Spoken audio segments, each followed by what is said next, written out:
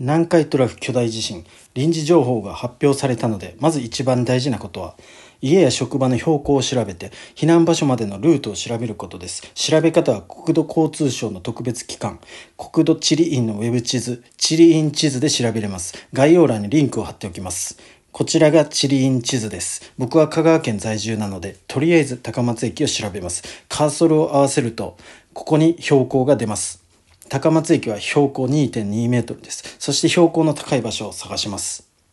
標高を確認しながら、高松市の夢タウン周辺です。この辺りは標高14メートルです。この辺りまで避難すれば津波からは助かりそうです。避難場所まで車を使えればいいのですが、道路が走れる状態ではない可能性もあります。歩いても避難できるルートを調べておくことがまず最初にやる対策だと思います。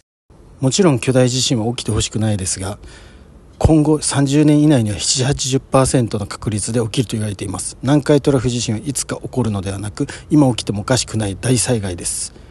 今あなたが防災のために起こすアクションは未来のあなたやあなたの大切な人を守ることに直結します。天災は起こってしまってからは備えられません。大切な命と暮らしを守るため今すぐ行動を起こしてください。